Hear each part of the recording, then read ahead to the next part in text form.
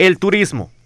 la seguridad fronteriza, el narcotráfico, la vigilancia terrestre, aérea y marítima, los movimientos migratorios y la migración de ciudadanos panameños hacia nuestro país con el fin de laborar en actividades agrícolas.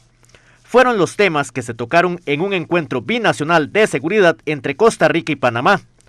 Los ministros de seguridad de ambos países encabezaron la junta que se realizó en la localidad de El Progreso en Chiriquí. Esto efectivamente tiene un enfoque de coordinación, de cooperación entre los dos países. Recordemos que vivimos en, en la zona Centroamérica, este, Suramérica, las zonas más violentas del planeta y no podemos trabajar solos, tenemos que hacerlo en conjunto, eh, donde está el tráfico más importante de cocaína del mundo y bueno, hemos hecho esfuerzos importantes, operaciones en conjuntos, donde hemos logrado con mucho éxito ambos países incautaciones. Y próximamente también va a haber una reunión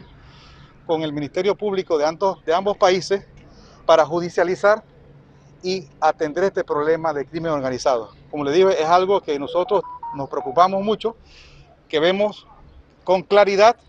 y que somos responsables, porque parte de esta reunión es ese propósito. Dentro de los compromisos de las autoridades está el fortalecimiento conjunto de puestos de Paso Canoas y Río Sereno en Cotobruz se han establecido, bueno, coordinaciones muy precisas, muy detalladas en los próximos semanas, en los próximos meses, para abordar en conjunto eh, las fortalezas de unos son las debilidades de otros y la idea es trabajar en conjunto, trabajar en equipo para seguir obteniendo buenos resultados. Interactuar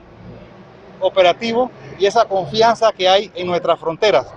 aéreas, marítimas y terrestres. En esta reunión también se tocó el tema de Punta Burica, que en este momento cuenta con un puesto de la Policía de Fronteras, pero las autoridades de ambos países buscan establecer un puesto común en la localidad de Limones, siempre en Burica las necesidades y las problemáticas que tenemos nosotros eh, son objetivos en común y bueno, vamos a seguir trabajando fuertes juntos, eh, tanto con, como lo mencionaba el ministro, en Limones, con esa eh, infraestructura que vamos a tener allí en conjunto, fortalecer el centro binacional que está en Canoas, también trabajando en conjunto y bueno, tenemos muchos planes, muchos proyectos que queremos materializar en conjunto por el bien de ambos países. Uno de los ejemplos de la utilidad de estos encuentros fue la creación del Centro de Cooperación Policial Binacional en Paso Canoas, en el Cantón de Corredores, donde operan representantes de los cuerpos policiales de los dos países,